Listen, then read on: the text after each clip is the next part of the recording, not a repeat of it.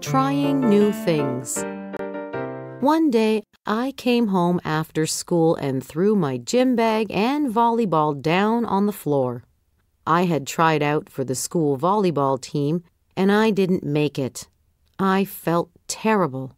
I didn't want to talk to anyone. I just lay on my bed. My mother tried to cheer me up, but nothing she did worked. Finally, my mother sent me to visit my uncle who lives around the corner. Off I went in my bad mood. I rang the bell. No answer. Then the door suddenly flew open. Ugh! A monster roared in my face. The mask came off, and Uncle Jerry said, Still in a bad mood? I guess my mother had told my uncle about my disappointment in not making the volleyball team so he decided to give me a little surprise.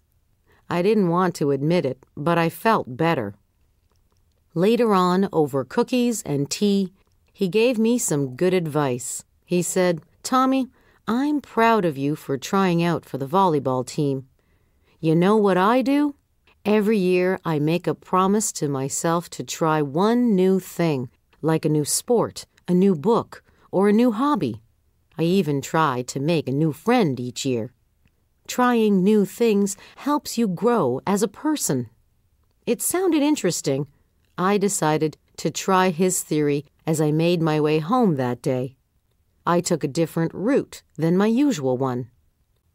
I was walking by a school when out of the corner of my eye I saw some kids playing baseball. I thought about what my uncle said, so I approached the kids. It took some courage, but soon I was playing with them and having fun. From then on, I played with them every week. A year later, I became a player on our school baseball team.